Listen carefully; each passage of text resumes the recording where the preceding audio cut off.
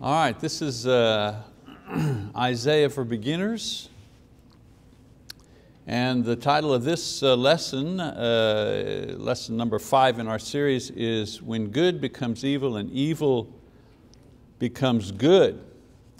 And uh, we're out of the uh, part of the uh, series where we're simply explaining how Isaiah put together his book and you know, talking about literary features and devices, things like that, all very interesting to help us understand. And all of you have received an outline where you can follow. In other words, if you're reading Isaiah, uh, Isaiah, I've given you an outline and if some of you are missing those, I'll uh, bring some more uh, next time if you'd like to get uh, one of those outlines. Um, I said that the, the last several lessons in the series, I'm simply going to preach or teach from Isaiah. You know, Isaiah written, what, uh, 2,700 years ago. You know, does it have anything to do with us today? You know, all this archaic literary, these archaic literary devices and you know, all these things, uh, all very interesting, I suppose. But does he have anything for us today? Is there any application at all? Here's a prophet speaking to the Jews 700 years before Christ. Yes, prophecies, uh, amazing prophecies, but what about 2021? You know, anything to say? Well, I've chosen Isaiah chapter 5, verse 20. Let's see uh, if uh, uh anything Isaiah said can be applied to the modern setting.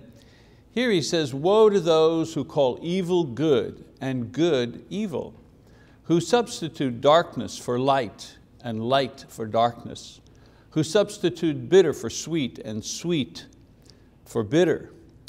Now in this uh, particular verse, uh, the prophet uh, Isaiah is describing one of the sins that the Jewish people are guilty of that will ultimately lead to the destruction of the northern kingdom by the Assyrians, 720 BC, thereabouts, and later on to the destruction of the southern kingdom by the Babylonian Empire in 586 uh, BC.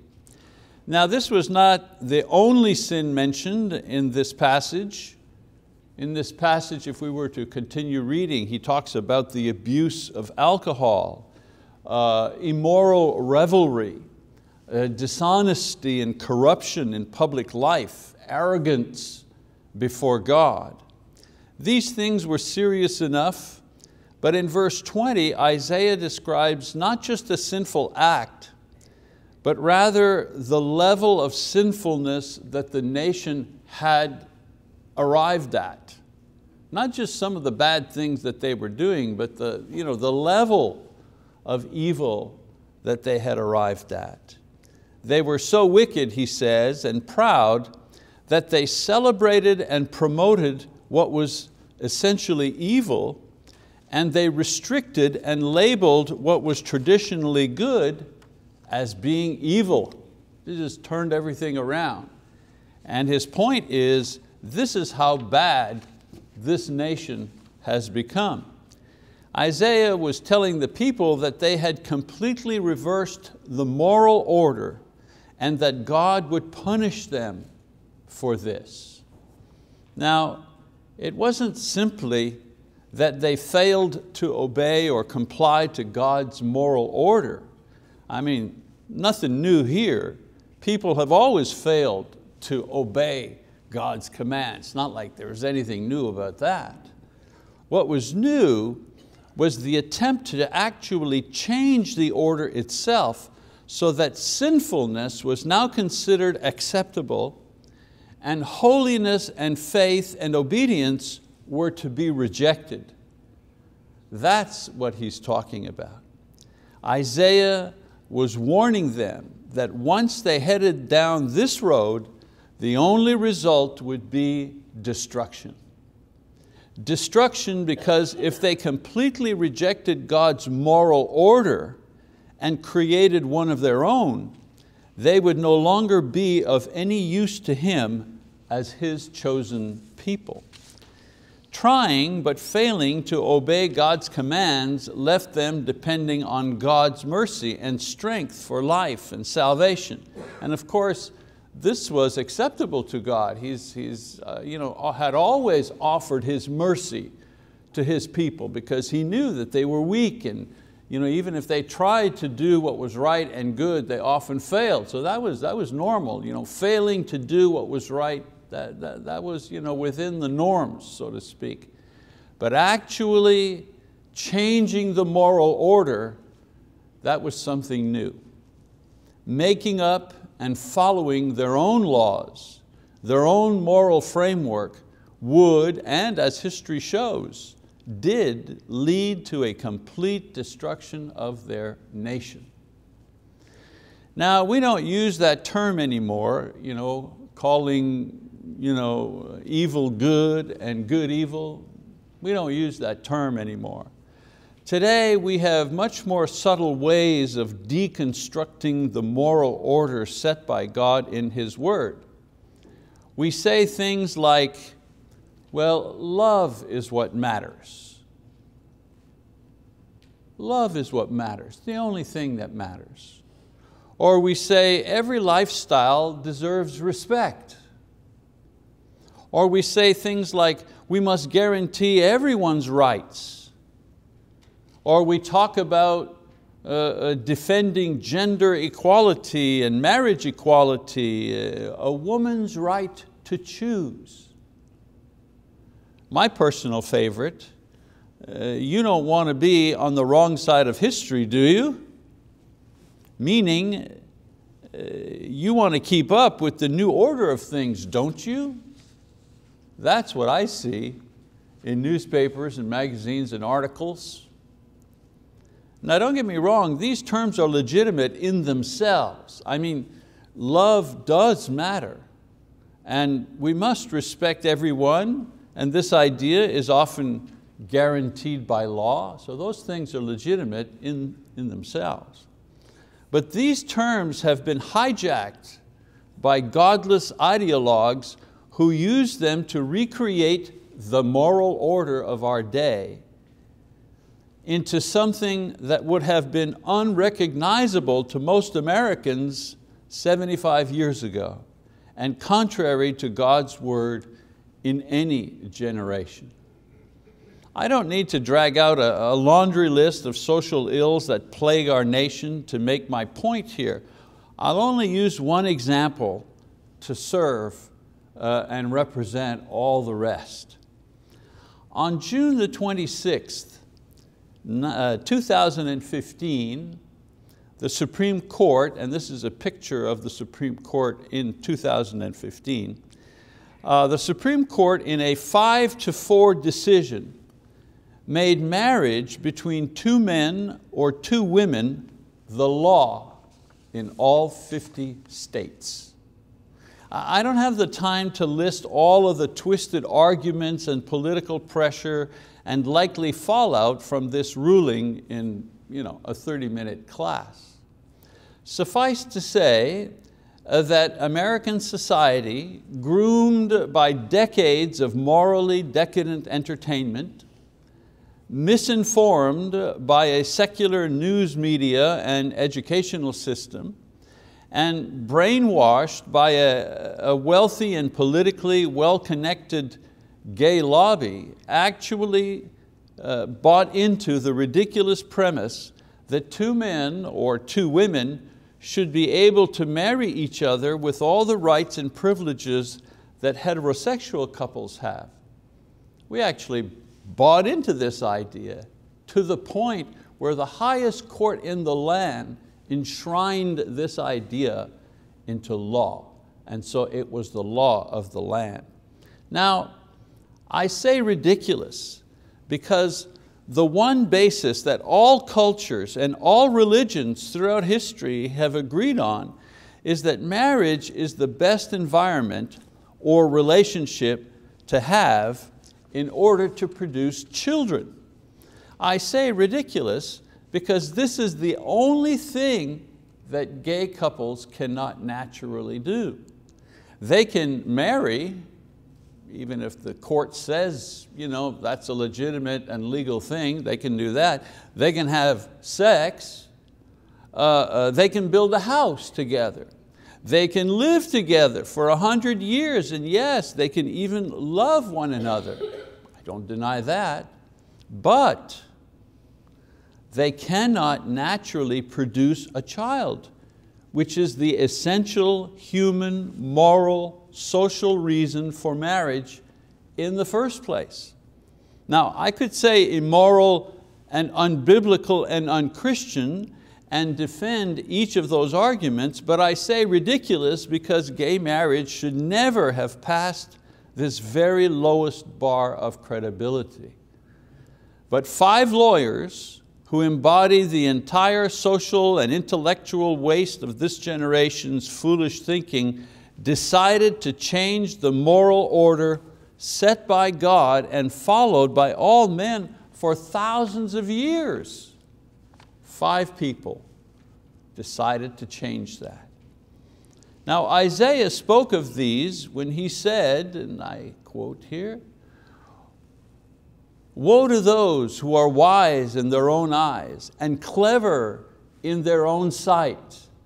Everyone celebrated this idea. Wow, we are so modern, we are so ahead, so advanced in our thinking. Finally, you know, we're so progressive, we're seeing the light. We're getting out of you know, the dark ages where only men and women uh, can legally marry. The three women and the two men on the Supreme Court who voted for this have now enshrined in law a new standard for what is right and what is wrong when it comes to not only marriage, but to sexual expression as well. Brothers and sisters, I'm not the one to predict the end of this nation or that time. You know, God decides these type of things. I'm not that type of preacher you know, that talks about end times, you know, tries to figure out when Jesus is coming. That's not what I do. But when I saw a picture of the White House lit up in the rainbow colors of the gay pride movement, on the front page of the USA Today newspaper, I knew that something profound had taken place in our country and there's no going back to where we once were. Now, the proponents of same-sex marriage from the president, and it was the president at that time, all the way to the president in the present era, to the judges and most news and entertainment personalities, they love to warn Christians that we're, you know, we're on the wrong side of history in this, in this matter. They uh, compare the ruling uh, to the emancipation of the slaves after the Civil War or the right to vote for women. They say this is the same thing as that. Their argument is that those who are against same-sex marriage today are like the ones who were for slavery in the past or those who didn't want women to have the right to vote. And they kind of throw everybody in the same boat. Talk about the wrong side of history. This accusation coming from people who have ignored and perverted history in order to force their fake civil rights agenda down the throats of the uninformed and gullible nation. The diabolic cleverness of their argument is that they are correct in stating the fact that not allowing gay couples to marry is discrimination. For example, not allowing marriage between uh, black and white people, this is discrimination. Or not allowing a woman to vote because she is a woman, this is discrimination. Or paying a handicapped accountant less than a non-handicapped accountant, this is discrimination.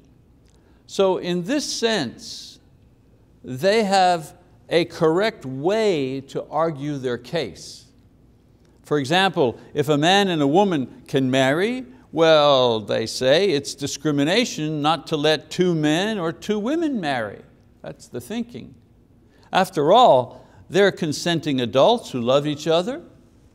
Now don't get me wrong, I said that they found a correct way to argue their case, an argument based on the principle of civil and human rights. But the argument itself is false. For example, civil or human rights protection are given to those who are by nature or by some event brought into a certain condition or status. In other words, a situation or status over which you have no choice.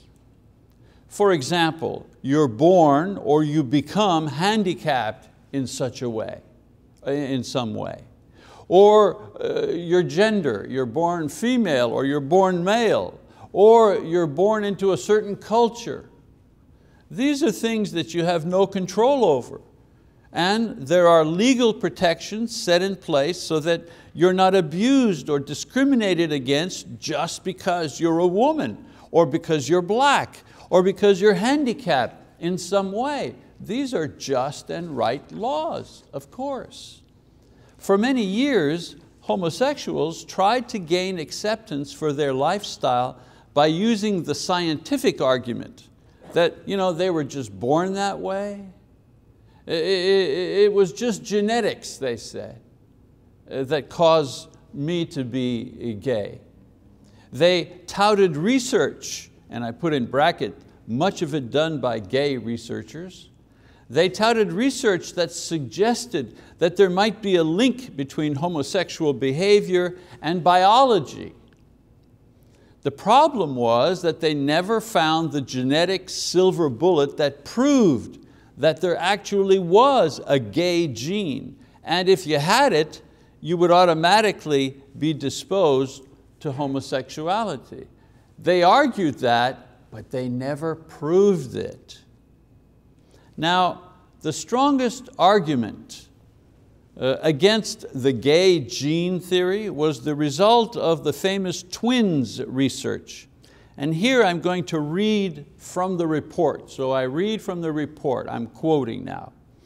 Eight major studies of more than 10,000 sets of identical twins during the last two decades all arrive at the same conclusion.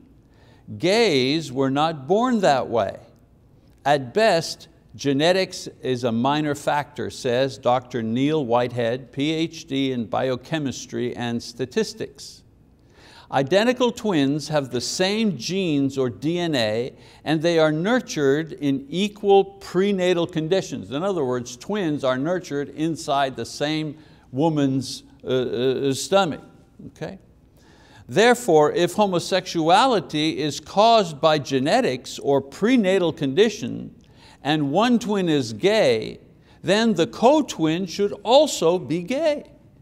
If both twins are not gay, then homosexuality cannot be genetically dictated.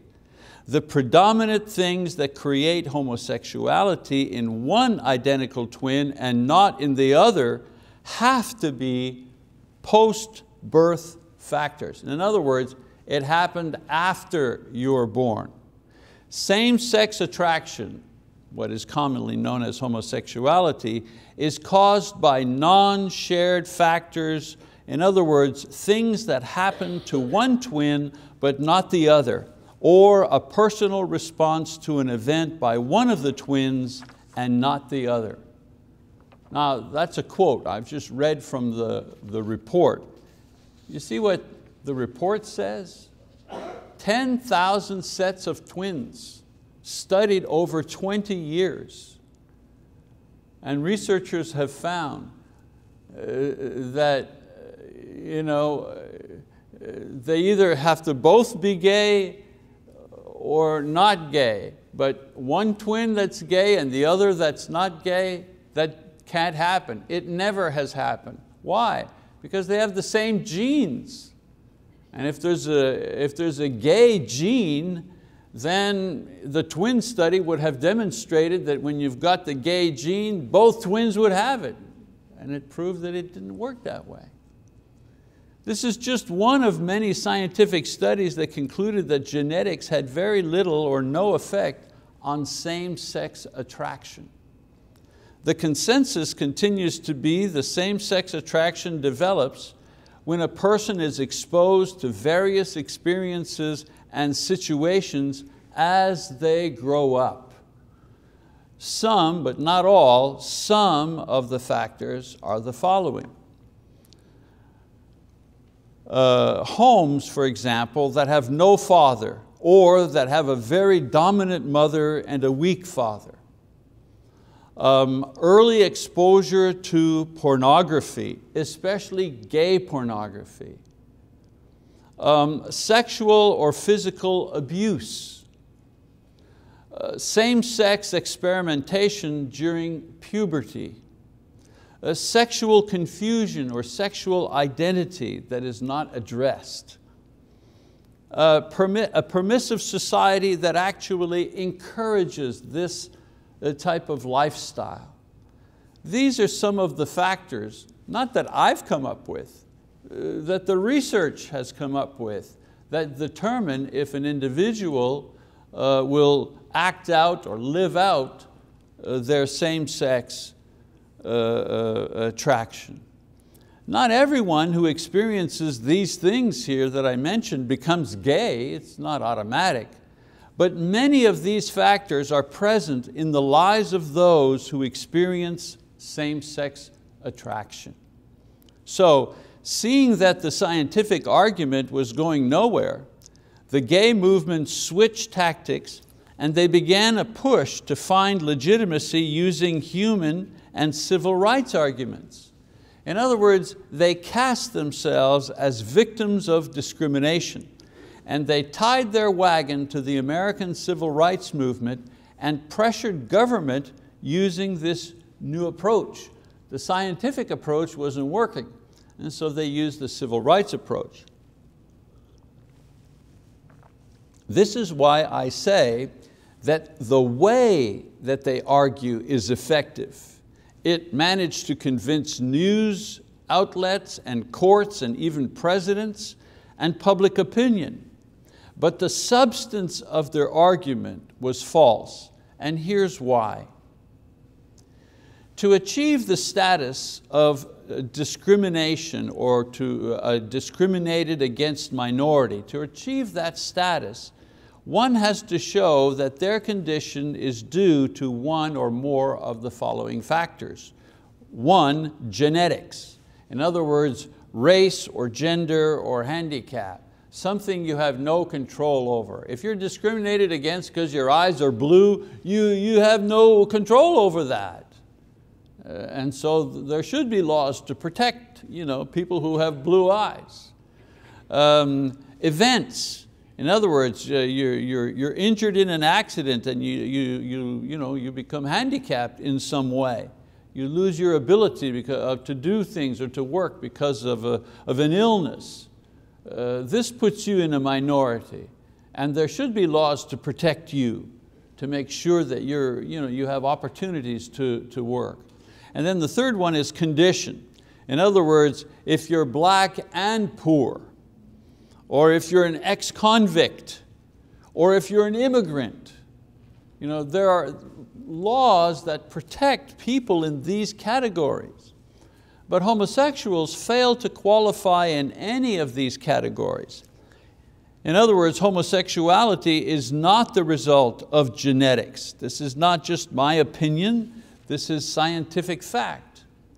Uh, no one forces one to become gay. It's a condition that evolves slowly, mostly based on experience and environment and decision making. Uh, and groups are not, uh, or gays rather, are not a downtrodden minority needing protection. They do and have uh, uh, uh wielded more influence than any other group that at most comprises of about 2% of the population. I mean, the amount of political uh, power wielded by the gay lobby is, is amazing. So the point I'm making is that gays have won a significant legal victory by successfully using a false argument to make same-sex marriage possible in all 50 states. So when they say, you don't want to be on the wrong side of history, do you? Uh, this is just shorthand.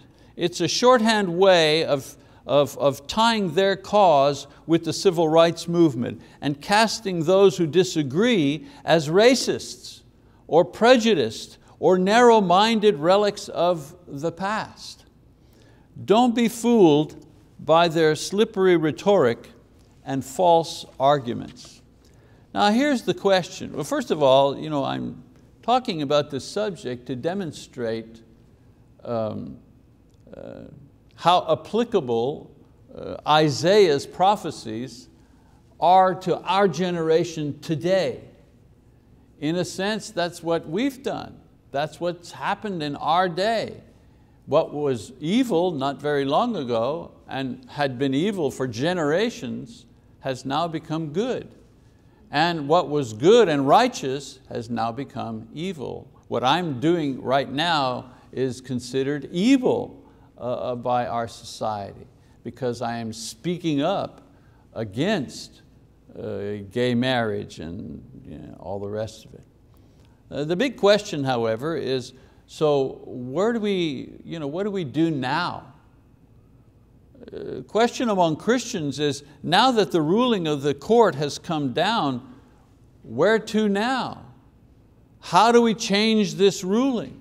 What kind of laws should we create to protect churches and ministries and Christian institutions like schools and colleges against lawsuits and other attacks?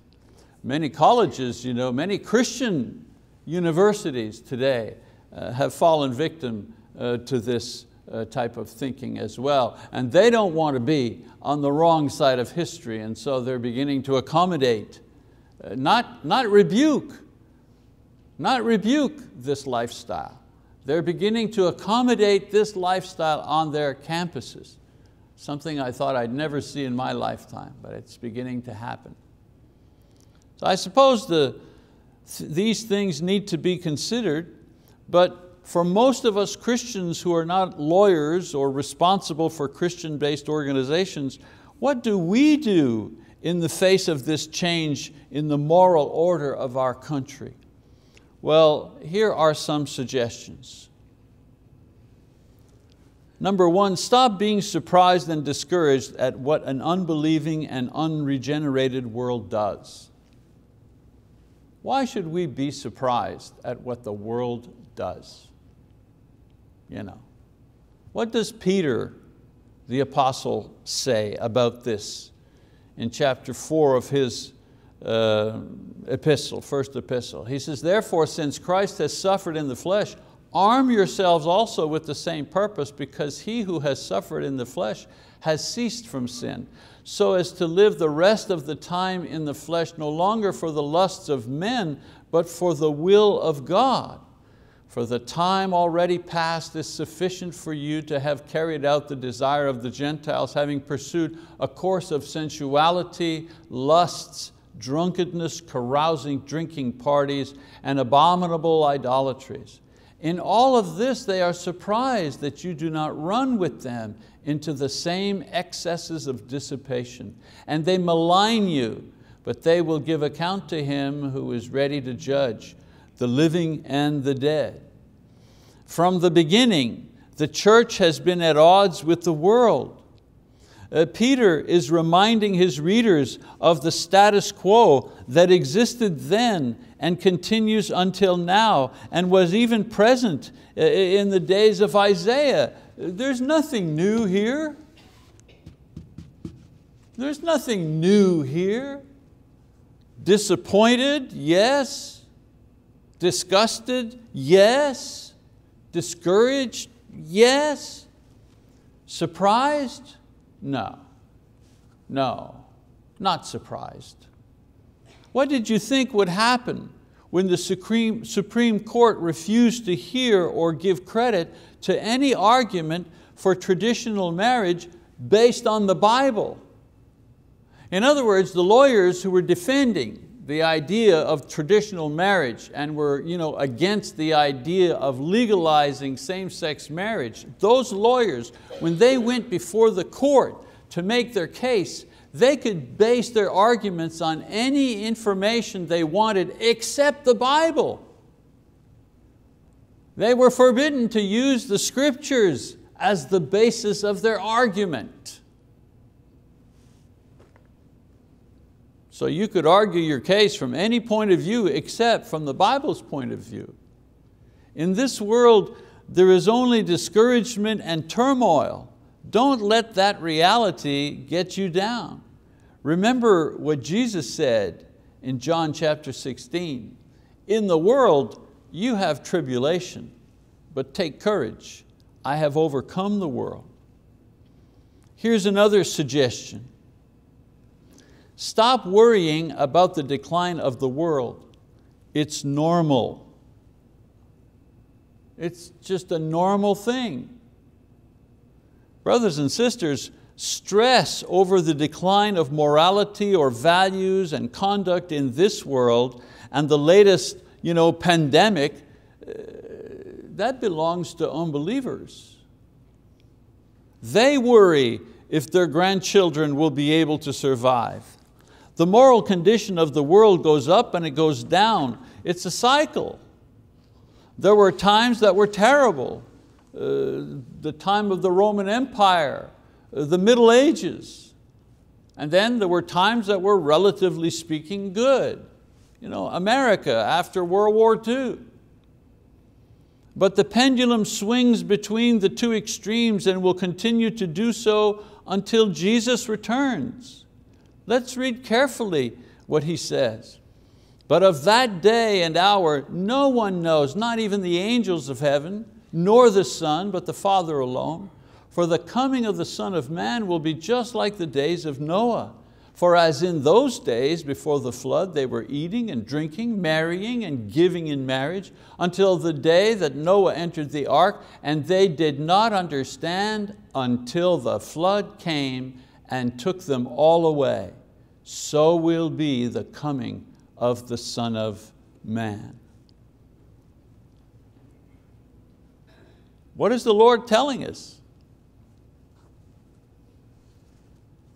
It's just going to keep going round and round and round and round and round and round and it'll stop all of a sudden.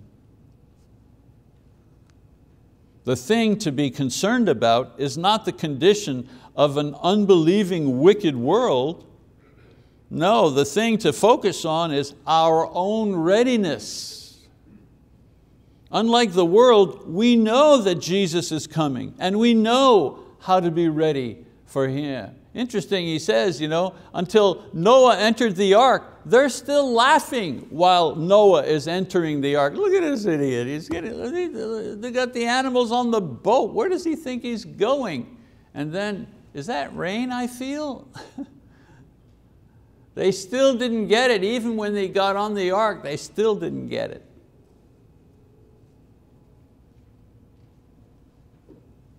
The Bible has already told us that the world will not be ready, that the world will be caught by surprise. No need to stress out over that. Just make sure that you're ready. That's your job, that's my job. One last suggestion, stop being surprised and worried. Stop stressing over the world's decline.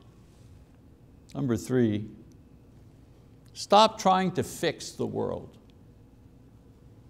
There are any number of organizations who are trying to fix the environment, fix the poor, fix immigrants, fix the rights of women and gays and black lives matter. They're out to fix everything. I'm not saying that these and other efforts are wasted or not worthy. Well, Christianity needs to affect the world in a positive and constructive way, like salt, like light, Jesus says. But these things do not achieve our primary goal as a church, which is the salvation of souls. Jesus didn't tell us to go out and fix the world. He told us to call all people to come out of the world and into the kingdom of God, which is the church. That's our task.